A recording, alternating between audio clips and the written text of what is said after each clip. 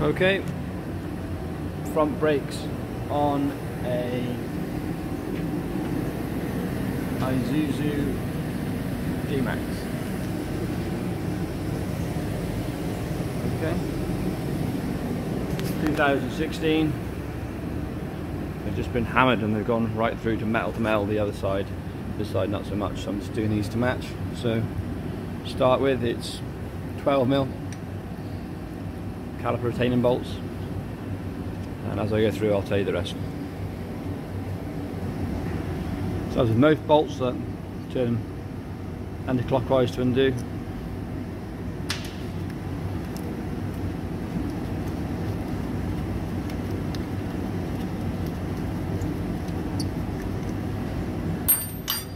Get a little lever bar in there then.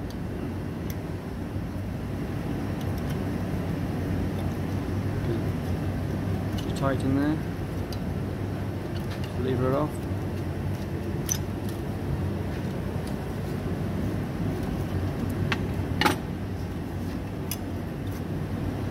There we go. So next we're to try and get that piston in there. Make sure I'm to order a new caliper. If that seized, then um, we wait for the caliper before we can do any more. Uh, whip the two pads out.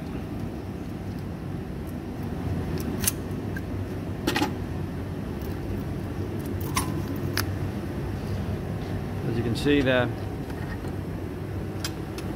really low. Nothing on them at all really.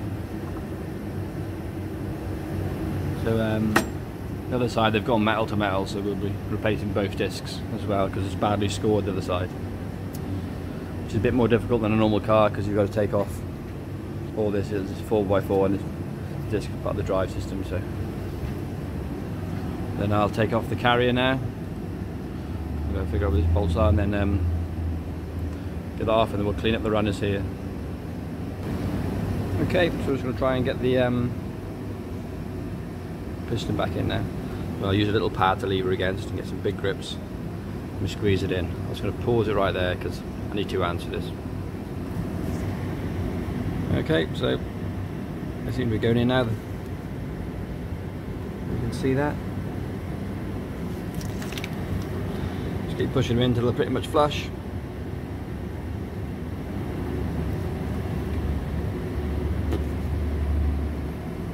Okay, that'll do. Right, I'm going to take off the um, caliper retainer, or carrier, carrier, carrier, whatever you want to call it. So it's two 20 mil, 21 mils at the back, here, and up here. Undo them, same before, anti anti-clockwise. I'll get that off and then I'll show you where to do them.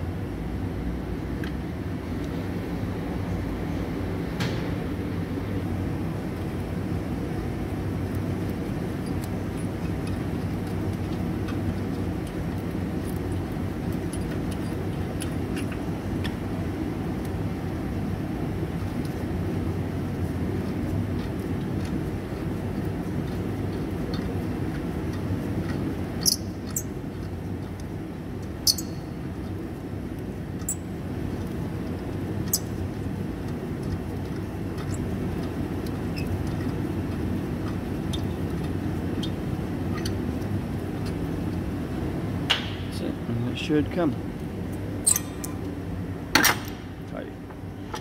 Take that over to the workbench now.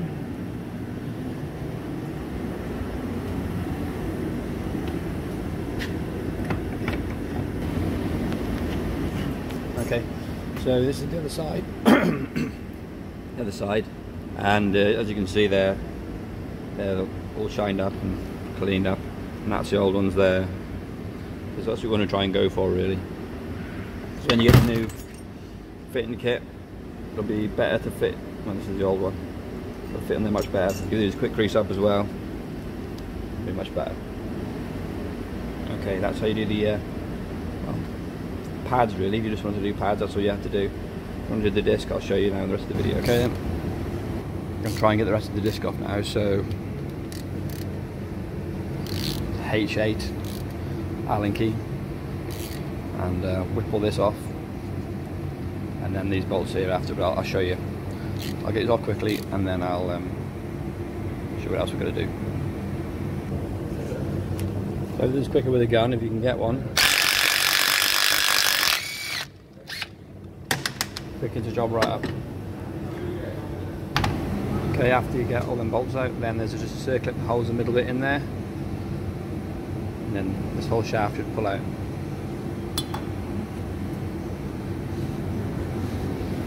Hey Rick.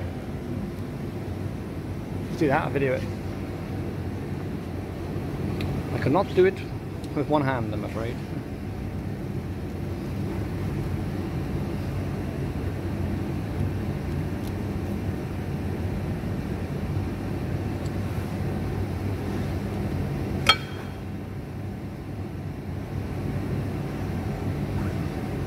Okay.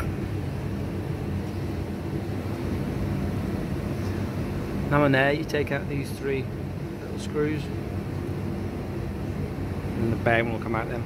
I'll show you. Okay. Once you get them three little bolts out, three little screws, get this out and then hammer this off anti-clockwise again. When you can turn it, turn it.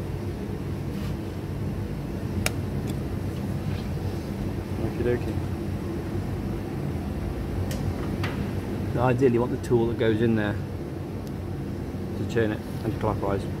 If you don't have that tool, like we don't, you have to improvise. Right, actually wasn't that tight in the end. Just give it a bit of a tap and then it come out.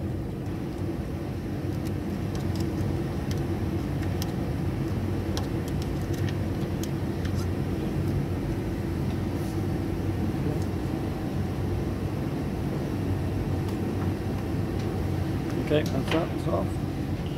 Have the whole thing. Try and keep the bearings in it if you can, don't lose them. And away it comes, and then you lift the shaft, and that's what you're going to replace now. So you can do all these bolts now, get the disc off.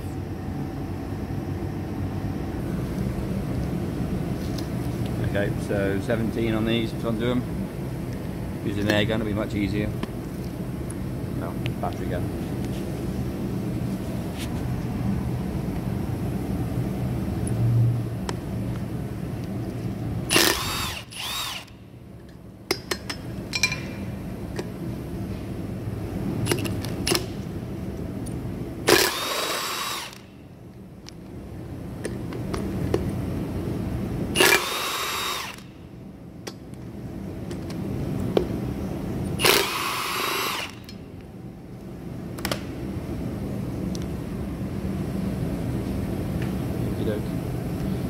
I'll do the last two and then I'll show you the trick to get it out because you've got to put it in the press to remove it. Okay, got them all out now. Um, all the bolts on the floor. Take it over to the press now.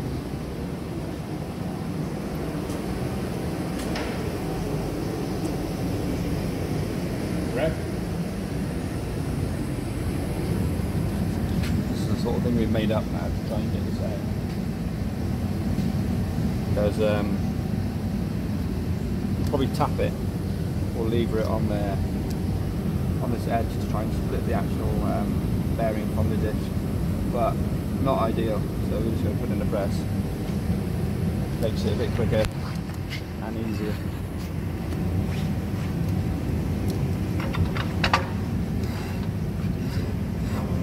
That's right.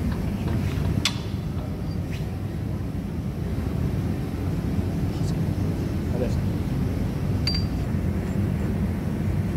Pushing the bearing out the middle.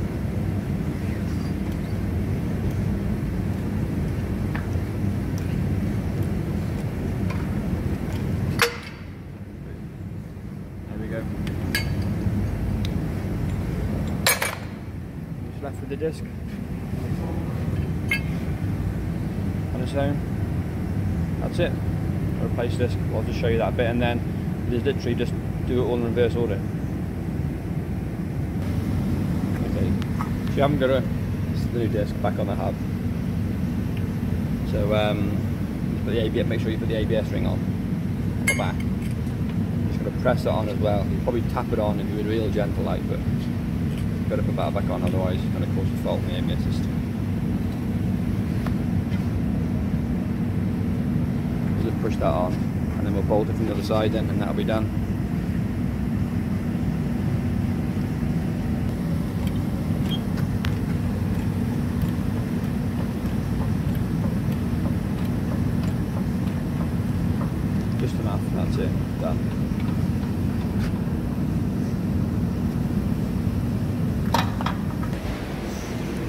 Okay, put the bolts back in.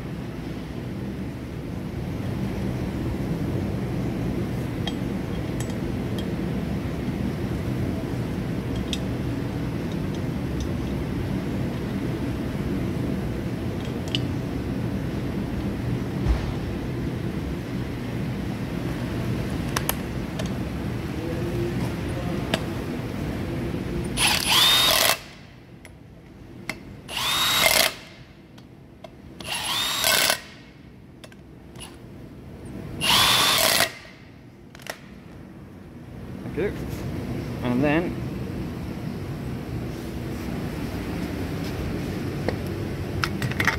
back on. That's it, bearing back on. Everything in reverse order. Thanks for watching, goodbye.